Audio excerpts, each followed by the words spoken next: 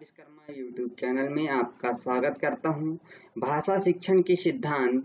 इससे पहले हम तीन सिद्धांतों को देख चुके हैं। आज हम देखेंगे क्रियाशीलता का सिद्धांत। क्रियाशीलता का सिद्धांत कहता है कि बालक स्वभाव से ही क्रियाशील प्राणी होता है। वह कभी भी निष्क्रिय नहीं बैठता है। बैठ सकता, वह हर समय कुछ ना कुछ करता ही रहता है। दोस्तों, आप जानते हो कि बच्चा जब छोटा होता है तो वह शांत नहीं रहता। कुछ ना कुछ वह करते ही रहता है इसलिए वह निष्क्रिय नहीं बैठ सकता। कुछ ना कुछ हमेशा करते रहेगा। पढ़ाते समय अध्यापक प्रश्न पूछना और छात्रों का उत्तर देना, अध्यापक द्वारा बालक को किसी वस्तु तथा मौखिक वर्णन करने के लिए कहना तथा छात्रों को लिखवाना आदि ऐसे साधन है जिनसे कक्षा में क्रियाशीलता बनी रहती और विद्यार्थी भाषा का ज्ञान प्राप्त करने में जल्दी ही निपुणता हासिल कर लेते हैं। अर्थात बालक हमेशा क्रियाशील रहता है, वह कभी भी शांत नहीं बैठ सकता, हमेशा कुछ ना कुछ करते ही रहता है। तो भाषा शिक्षण के सिद्धांत में भी क्रियाशीलता के सिद्धांत द्वारा हमें वह अप्लाई करना होगा। पांचवा है, अभिप्रेरणा या रुचि का सिद्धांत। किसी कार्य को करने के लिए छात्रों को उत्प्रेरित कर दिया जाए तो वे उस कार्य को बड़ी निष्ठा और तत्परता और रुचि पूर्वक करेंगे। हम देखते हैं कि यदि हमने बच्चे को खेल का मैदान है हमारा और उस खेल के मैदान में कंकड़ पत्थर पड़े हुए हैं, यदि हम छात्रों को कहें कि बच्चों, एक अंकड़ पत्थर को हमें बाहर फेंकना है तो वे आनाकानी कर देंगे, हमारी बात में रुचि नहीं लेंगे। लेकिन यदि हम इसी बात को कहें, थोड़ा बच्चों से कहें कि, बच्चों, देखते हैं, कौन सबसे दूर पत्थर फेंक सकता है? तो बालक उत्प्रेरित हो जाएँगे और इस कार्य को बड़ी रुचि और तत्परता से कर देंगे। अर्थात शिक्षण कार्य में उत्प्रेरणा या रुचि का बहुत महत्व होता है। उन्हें अध्यापन कार्य कराते समय उत्प्रेरित किया जाए, उनकी विषय में रुचि जागृत की जाए तो वह भाषा को बहुत ही आसानी से समझ सकते हैं। आगे हम देखते हैं कि उपयुक्तता क्रम का सिद्धांत तो यह भाषा शिक्षण प्रदान करते समय उपयुक्त क्रम की ओर विशेष ध्यान दिया जाए। भाषा शिक्षण जो है, उसकी दृष्टि से दो बातें बड़ी महत्वपूर्ण होती है। अर्थ ग्रहता और दूसरा है, भाव या प्रकाशन या अभिव्यक्ति। भाव प्रकाशन या फिर भावाभिव्यक्ति दो बातें जो है, वो महत्वपूर्ण है। पहला अर्थ ग्राह्यता और दूसरा, भावाभिव्यक्ति। अर्थ ग्राह्यता पहली सीढ़ी है और भाव प्रकाशन या अभिव्यक्ति दूसरी सीढ़ी है। छात्रों में अर्थ ग्राह्यता आए, इसके लिए दो बातों का अभ्यास कराना चाहिए। अभ्यास के लिए दो बात होनी चाहिए। सुनने का अभ्यास होना चाहिए और पढ़ने का अभ्यास होना चाहिए। भाव प्रकाशन या अभिव्यक्ति दो प्रकार की हो सकती है। एक तो मौखिक भाव अभिव्यक्ति या फिर लिखित रूप से भाव प्रकाशन या अभिव्यक्ति हो सकती है। ये दो प्रकार के अभ्यास बच्चों से कराने होते हैं। मौखिक अभिव्यक्ति का भाव प्रकाशन प्रथम सोपान होता है और लिखित अभिव्यक्ति जो है, इसका भाव प्रकाशन दूसरा सोपान कहलाएगा।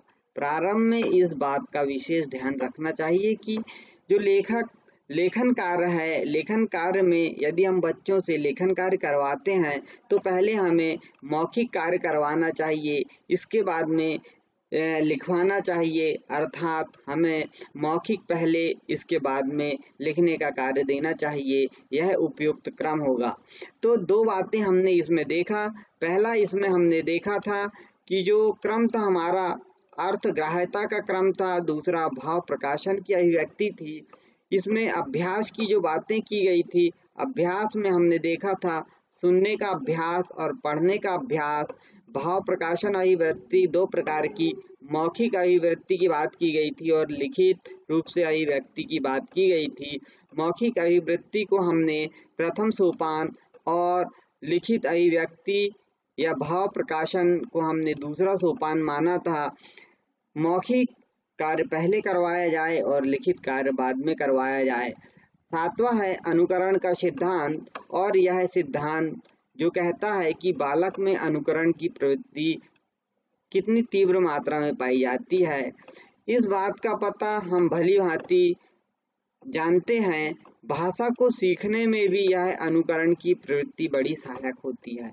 जैसे वर्णमाला को सीखना, शब्दों और उसके अर्थों को सीखना पढ़ना एवं लिखना सीखना, इन सभी क्रियाओं में अनुकरण की प्रवृत्ति काम करती है। बच्चे अनुकरण करते हैं। कैसे अनुकरण करते हैं? जब अध्यापक बोलता है तो उन्हें वो जैसे बोलते हैं, उनका अनुकरण करते हैं। इस बात का विशेष प्रयास करना चाहिए विद्यालय के बालकों को अनुकरण ठीक दिशा में प्राप्त हो। जो बालक है, उनका ठीक दिशा में अनुकरण होना चाहिए। यह बात का हमें विशेष ध्यान देना चाहिए। इस संबंध में सबसे पहले अध्यापक को अपना आदर्श प्रस्तुत करना चाहिए। उसका उच्चारण शुद्ध होना चाहिए तथा भाषा व्याकरण सम्मत होनी चाहिए। कभी कभी ऐसे लोगों द्वारा भाषण करवाने चाहिए जो भाषा के पंडित होते हैं। अर्थात जो विद्वान व्यक्ति है, ऐसे लोगों को विद्यालय में बुलाकर उनके भाषण बच्चों को सुनवाने चाहिए। उनकी जो बातें हैं, वो किस प्रकार से भाषा का प्रयोग कर रहे हैं, यह बच्चों को समझाना चाहिए और अध्यापक को आदर्श प्रस्तुत करना चाहिए, उच्चारण शुद्ध करना चाहिए, तभी वह भाषा शिक्षण बच्चों को निपुणता प्रदान कर सकता है। शिक्षण महावाक्य, शिक्षण सूत्र यह आठवां सिद्धांत है और शिक्षण सूत्र या शिक्षण महावाक्य में आप जानते हैं कि शिक्षाविद जो है या मनोवैज्ञानिक है, उन्होंने समय समय पर अपने अपने विचार दिए हैं। कक्षा अध्यापक के लिए, शिक्षक के लिए जो विचार दिए गए हैं, सिद्धांत बताए गए हैं, कक्षा अध्यापक भी उन सिद्धांतों को अपनाए। ऐसे महावाक्यों या सिद्धांतों का संग्रह सर्वप्रथम हर्वर्ड स्पेंसनर ने किया है। कालांतर में और भी महावाक्य या शिक्षण सूत्र इनके साथ जुड़ गए हैं, जिन्हें हम शिक्षण सूत्र के नाम से जानते हैं। आगमन प्रणाली, निगमन प्रणाली सरल से कठिन की ओर, इन जो सिद्धांतों को हम देखते हैं, वो सब शिक्षण सिद्धांत के अंतर्गत आते हैं। इन्हें हम शिक्षण महावाक्य या शिक्षण सूत्र भी कहते हैं। तो दोस्तों, आज के लिए इतना ही। अगर आपको अधिक जानकारी चाहिए तो हमारी वेबसाइट www.sarkailash.info सर्च करें। यह चैनल को सब्सक्राइब करें और अधिक से अधिक दोस्तों तक जानकारी पहुंचाएँ।